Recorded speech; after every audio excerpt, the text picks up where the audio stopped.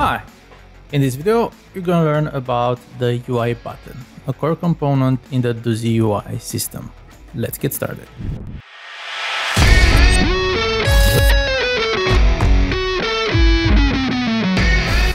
So, an UI button contains all the logic needed for a button to work and behave in various ways in order to create complex UI interactions. In order to create a UI button, you go to the hierarchy view and right click it, then go to Doozy UI UI button. Automatically one will be created and if a master canvas is not present in your scene, one will be also created.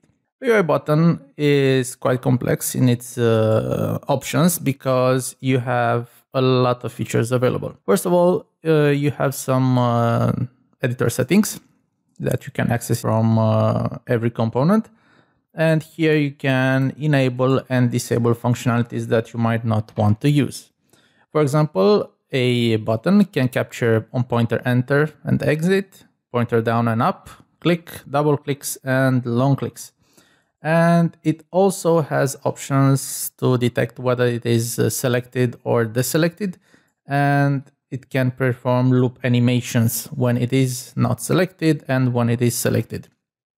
Of course, if you do not want to use, let's say on pointer down and up, you can just disable those functionalities. And they'll also be re removed from all the UI buttons in your current project. I'm gonna leave them all enabled for now so we can talk about them really quick. This window that you see right here is the control panel. And here we have the editor settings with default values for newly created components.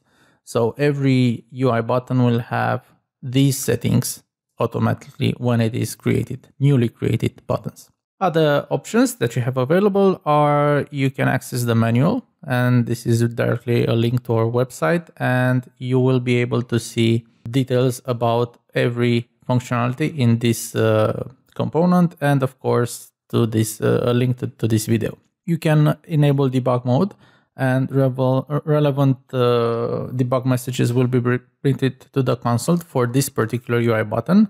Or if you need to debug all UI buttons, you can go to the control panel, to the debug tab and select UI button.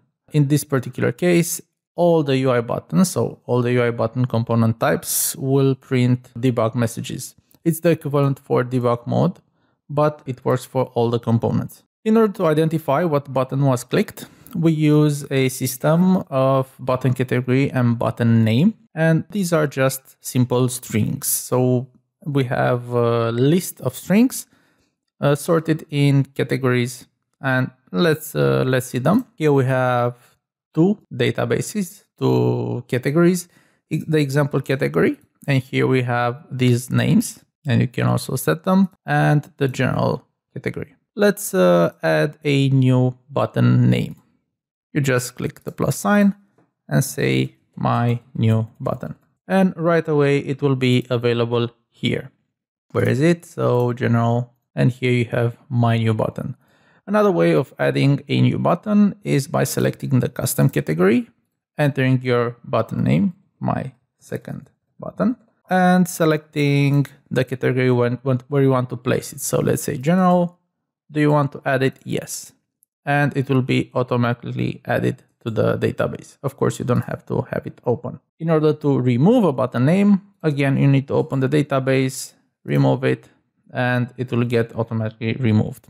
To create a new database, you have to, you either click open database here, or you use the control panel, and you just add my new category. And let's say three, one, two, three. Let's sort them. And you will see that now we have a new category with the options 1 to 3. This is the rename game object to button 2 is a convenience uh, button so that you can rename it to whatever button you have. Okay. Allow multiple clicks allows the, the button to be spam clicked. And let me also show you. So let's enter play mode. Okay, so notice that the button is interactable. If, if I click it, it, it doesn't get disabled. If allow multiple clicks uh, is uh, disabled, the button will be disabled for a set interval. So notice that for 0.2 seconds, the interactable option is disabled. I'm to say one second and I'm to click it and see that it got disabled.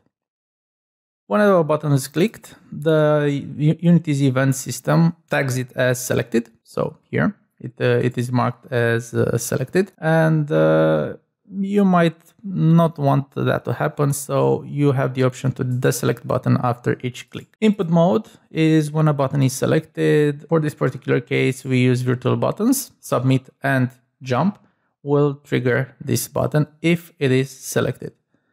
And let me show you first of all what is a virtual button. Well, it's uh, related to the to Unity's input system. So we go to edit, project settings. And here we go to input and you'll notice a list of all the virtual buttons. For this particular ex example, we have the virtual button named submit and the virtual button named jump. So for jump, we have the joystick button free and also we have the positive button space. So if I press space, this button will, will get uh, clicked if it is selected. And let me show you, I'm going to enter play mode Right now the button is not selected, so if I press space, nothing will happen. But if it is selected now when I press space, notice that it is triggered. Again, if I press enter because it is selected, it will get triggered. Of course, you can also set particular key codes and here you have all the options available. On pointer enter and on pointer exit, are triggered when uh, the pointer enters the button's area and on pointer exit when the pointer exits the button area.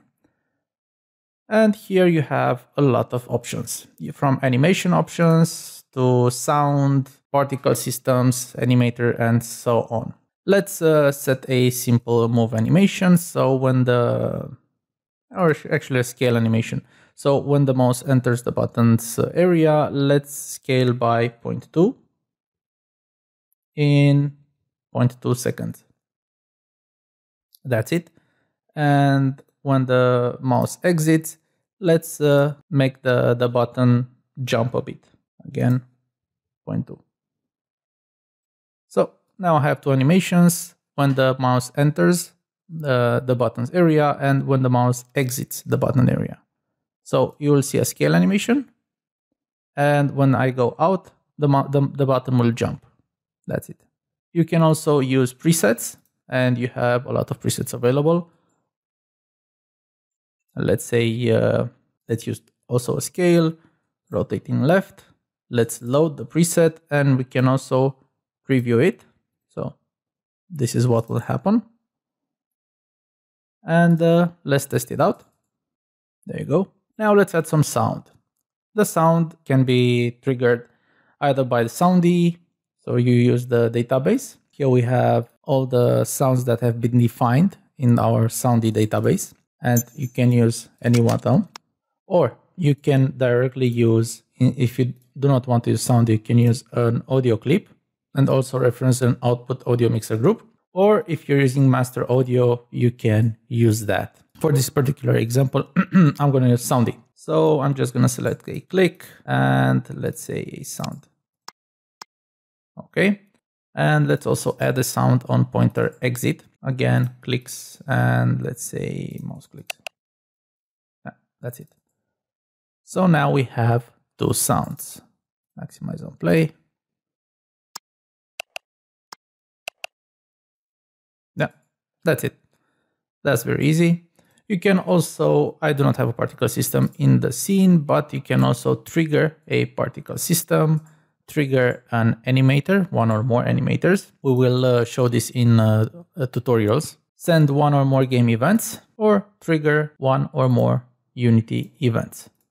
These options are available for all the other settings. And here you have click, double click and long click. Let's say for on click, I want uh, to set a, an animation. So I'm going to say an organic, let's say jelly fast. Let's load it and let's preview it. So you can, I'm going to zoom in a bit so you can see it. And let's also add a sound.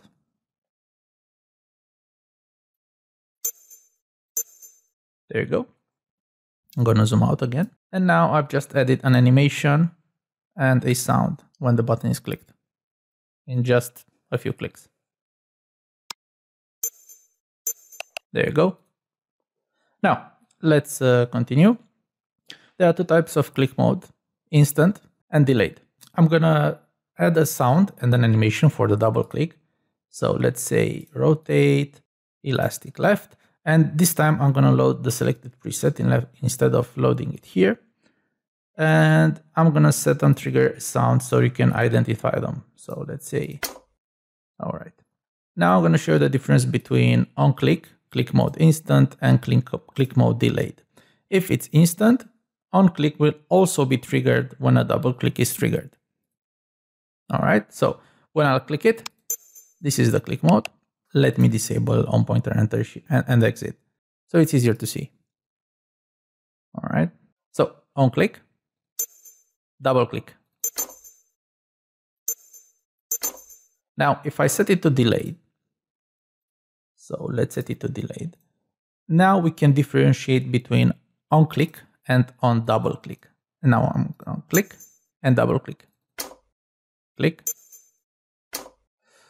This uh, depends on your particular use case. For example, uh, in, a, in a normal OS, when you click on a folder, it will first select it. The click does the selection and the double click does the opening of the folder. So that's why you, you, we also provide instant and delayed. One more setting, long click. Double click has a register interval of 0.2 seconds and long click has a register interval of 0.5 seconds. So you have to keep the mouse down for 0.5 seconds. Let's enable the long click and let's set an animation. Again, I'm gonna set a stretch and I'm gonna load the preset. And again, I'm gonna set a sound. That's it. So let's enter play mode. And now we have the three click types. Click, double click and long click. All right and uh, let's say on click let's set it to delayed so we can differentiate between the two and let's look at the non click a bit so click double click come on where is it double click and long click if i set the interval a bit smaller let's say 0.2 long click will be activated a bit faster so if i say let's say one second it will take uh, it, will take one second before the long click is registered so there you go. We recommend using 0.5 as that is the default value that we also assign to the system. Besides that, you have normal and selected loop animations. Normal loop animation is used when the button is not selected, so it's in um, default state. And selected loop animation is activated when the button is selected in the event system. I'm gonna load a simple normal loop animation and it just got enabled. Let's select something a bit uh, easier to see. Okay, so now we have a normal animation enabled. Let's also enable a selected animation and let's go with a scale. So when I click the button, the, uh, the button will get selected and the scale animation will start working. And now the button is selected. If I click outside of it, it will get deselected and again the normal loop animation will start So the selected, selected. Let's see it. This is the, the selected animation. I'm going to maximize because it is smooth and this is exactly what the end user will see in your uh, game or app. There you go. One more thing, you have a convenience method to access the label if it has been referenced and you can say my button you can change it from here instead of selecting the label and writing in here. So now that's it. Uh, notice that the button uses TextMesh Pro. That is because we have it installed. And in this particular case, because I'm using Unity in 2019, uh, I already I have it installed by default and I also enabled it. If it were not enabled, uh, the native text component would, would have been added. So let me create a native UI button and let me show you. So this is the difference from uh, between the native UI button and the Z UI button. That's it. The simple part is Oh, you also have on click, trigger events after animation, on double click the same thing, and long click the same thing. When uh, this uh, option is enabled, the um, actions that um, are triggered by the on click, double click, and respectively long click will be activated only after the animation has finished so that the user has uh, the option to see it. It's a, a, small delay, but it is important when you are trying to design it uh, nicely. You can create new presets depending on the settings that you are uh, using. You can uh, load some of the presets that uh, we provided or that you created, and you also can create new preset categories for your uh, own system. There are three types of animations, punch, state, and animator. For the animator, you just trigger an uh, animator and you can trigger a trigger, you can set a bool, a float, or an int, depending on your particular animator setup. For the state animation, I'm just going to show you one of the examples so that you can uh, see. You have a, um, usually it's used for on pointer enter and on pointer exit. So I'm going to open the example 4. And here you'll notice when I, my mouse will move over these buttons, they will go to the, to the right and they will stay there until the mouse exits. So on pointer enter and on pointer exit.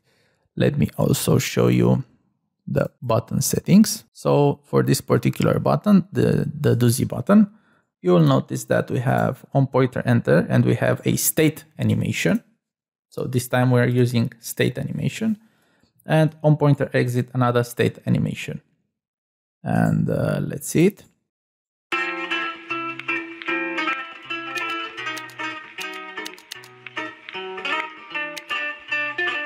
There you go.